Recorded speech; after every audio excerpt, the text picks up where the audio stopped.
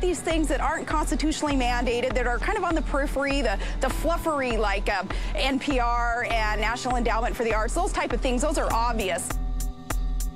Arts support is on the decline. And new research has shown why. People have grown tired of hearing all the same messages. So we decided to create something people would actually like to hear about. An exciting new film called Radius, about a mysterious superhero doing mighty things in the community.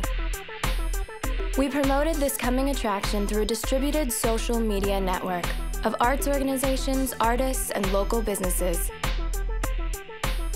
Our network encouraged audiences at festivals, theater openings, and other events to find themselves in our film by playing a simple scavenger game on their smartphones, capturing and uploading images of people, places, and things in and around those events.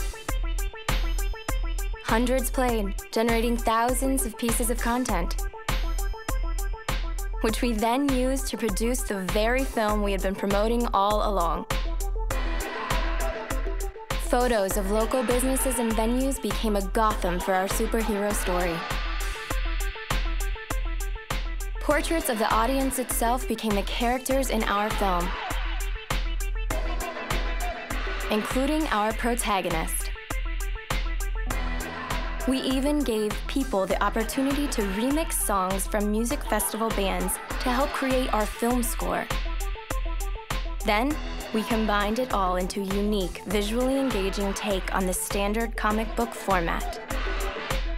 When the audience returns to watch this film short, They'll find the content they had captured incorporated into every aspect of the story.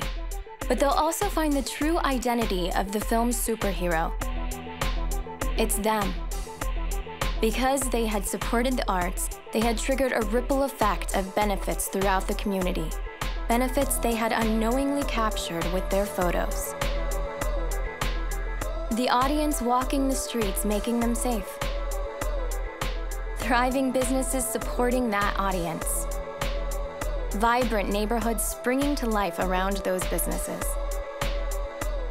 A growing wave of benefits affecting the entire community and beyond.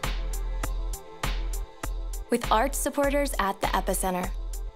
This isn't just an arts campaign, and Radius isn't just a movie. It's an engaging new way to change the perspective on the arts by showing the audience how their support really impacts their community. An audience that will be watching and waiting for the next opportunity to be the hero their community needs.